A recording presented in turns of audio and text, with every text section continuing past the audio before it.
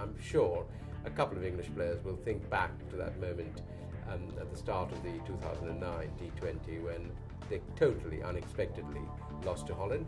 This is, of course, a longer version of the game, which means that the better side ought to win and win with ease, and I would expect England to have too much for Holland. It's a massive point of proof for Ryan ten Doeschate, who uh, has been at Essex for a long period of time now, has developed into a fantastic cricketer, great fielder, fantastic batsman, uh, and bowls a little bit medium pace as well. So a good opportunity for him to, uh, to, to, show his skills off.